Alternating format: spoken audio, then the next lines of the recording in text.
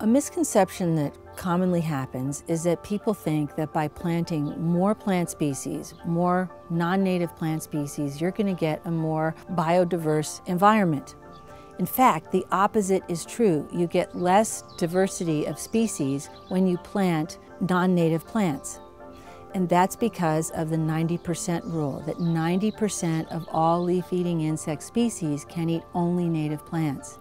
And if you lose all that protein in the food web, you're going to lose all the species that need that protein.